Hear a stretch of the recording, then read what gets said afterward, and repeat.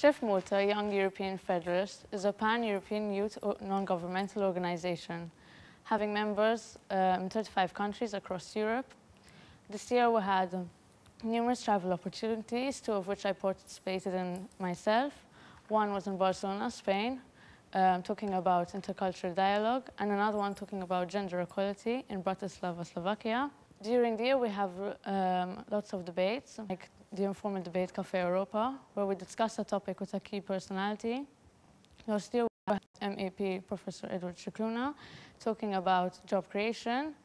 Um, we also had the opportunity to discuss the Lisbon Treaty with MEP Dr. Simon Busuttil.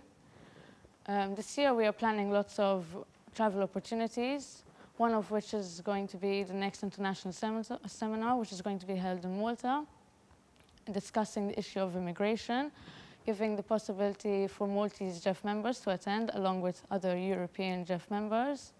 And we also will be ho holding the next federal committee in Malta this October. Um, we'd like to get to know you better, so stop by our stand on Freshers Week and follow us on our brand new website, which is going to be launched on the first day of Freshers Week. And we, you also have the chance to follow us on our new Facebook group, JEF Malta, and Twitter. Thank you.